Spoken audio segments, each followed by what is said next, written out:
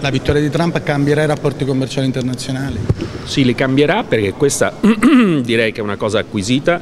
Eh, Trump ha una visione della politica commerciale non orientata agli accordi di libero scambio e meno propensa al commercio aperto rispetto ai predecessori. E questa cosa è una cosa a mio avviso negativa, eh, perché noi abbiamo bisogno, soprattutto noi Occidente, quindi Stati Uniti, Canada, Europa, di insieme scrivere una globalizzazione diversa, scrivere le regole di una nuova globalizzazione fondata su standard elevati e su un riequilibrio, perché oggi abbiamo concesso molto nei decenni scorsi all'est del mondo, diciamo così, in particolare alla Cina, adesso è tempo che queste concessioni tornino indietro e si costruisca quello che viene chiamato un level playing field, cioè un campo da gioco più piatto, più equilibrato per tutti. Ecco, questo credo che per farlo non si possa semplicemente chiudersi, ma bisogna lavorare insieme. Stati Uniti e Europa avevano incominciato a farlo per riscrivere le regole del commercio mondiale.